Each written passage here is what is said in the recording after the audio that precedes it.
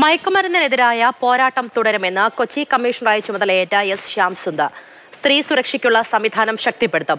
ഗതാഗത കുരുക്ക് ഒഴിവാക്കാൻ പൊതുജനങ്ങളുടെ അഭിപ്രായവും പരിഗണിച്ച് നടപടി സ്വീകരിക്കും. സൈബർ കുറ്റകൃത്യങ്ങൾ തടയുന്നതിനുള്ള നടപടികൾ സ്വീകരിക്കുമെന്നും എസ് ശ്യാംസുന്ദർ പറഞ്ഞു.